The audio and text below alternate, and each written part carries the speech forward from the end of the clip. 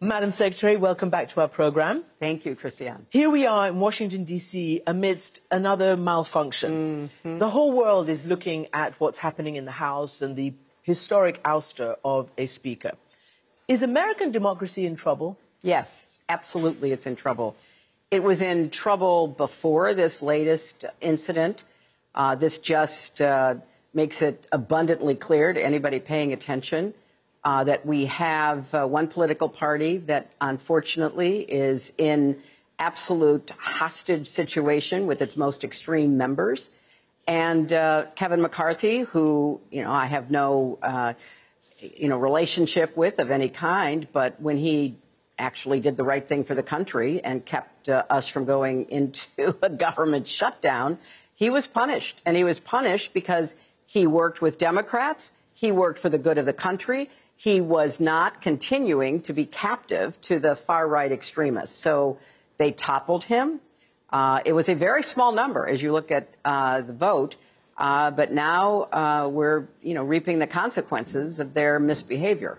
It's said that the main contenders for his position are Jim Jordan, who you know very well from Benghazi. Oh, I don't know him well. I watched him and, and uh, you know, stared at him for 11 hours while he made stuff up about me. So I don't know him, but I've seen him in action. So what will it mean if he gets the speakership? Well, I mean, he is one of the principal uh, ringleaders of the circus that's been created in the Republican Party for the last several years. Um, I, I have no inside knowledge about what the Republicans will do, who they will end up voting for. But when do they put the country first? They do not represent a majority of even the Republican Party. Uh, when you look at the extremists in the House, they certainly don't represent a majority of the country. And, you know, somebody has to stand up and say, enough you know, we can have disagreements. I'm all for that. I was in the Senate for eight years. I worked with a lot of Republicans and, you know, opposed them when uh, I didn't agree. But at some point, there needs to be a backlash against the control that this small group of extremists have. And I don't know uh, who will lead that, but uh, let's hope uh, whoever becomes the new speaker will. So, for those outside this country who may not know, it is not so much a a, a, a fight between two different parties. It's an internecine warfare within one party, the GOP. Yeah. So when you look at how to go forward for the country, as you say, is there any area of coalition building that could happen? There are pragmatic Republicans, as you say.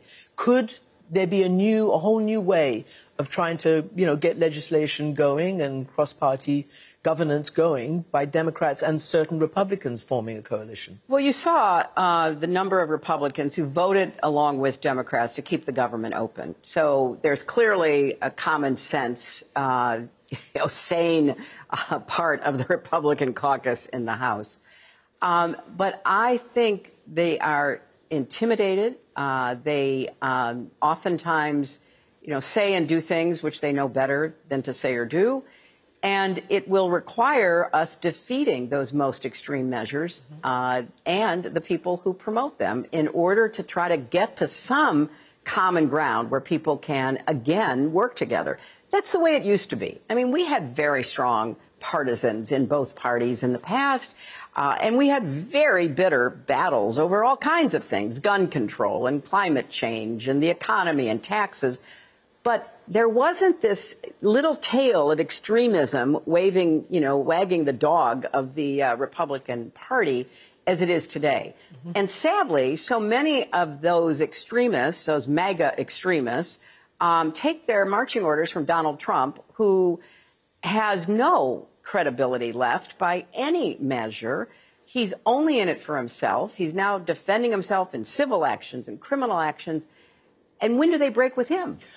you know, because at some point, you know, maybe there needs to be a formal deprogramming of the cult members, but something needs to happen. And how do you do that? Because you said you have to defeat them by defeating their leader. Their leader right. is Donald Trump. Even you have said that you expect him to be the Republican nominee. How does this change at all?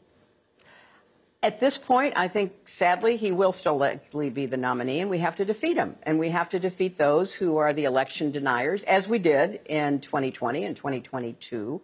Um, and we have to you know, just be smarter about how we are trying to uh, empower the right people inside the Republican Party. You know, Nancy Pelosi had a majority of five votes when she was Speaker. Kevin McCarthy had a majority of five votes. Nancy Pelosi passed consequential legislation. And she clearly had members within her caucus who, you know, ranged across a spectrum of political beliefs and ideology. And she kept everybody together. And she kept everybody focused on the future. Mm-hmm. He couldn't do that. And so he paid a price, but more importantly, the country paid a price.